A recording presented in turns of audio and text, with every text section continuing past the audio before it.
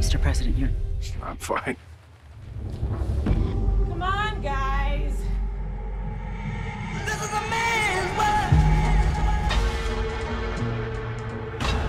This is a man's world.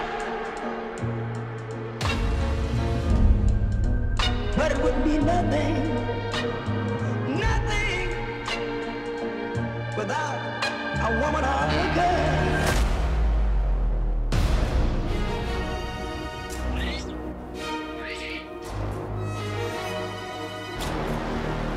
Madam President, power plants will start to shut down. Which which city? All of them. Somewhere is the answer to how this all happened and how we fix it. Who are you? Yorick. You're reproductively interesting. Wow. Okay. Uh,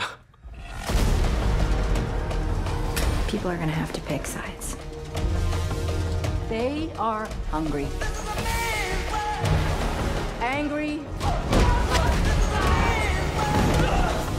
Terrified.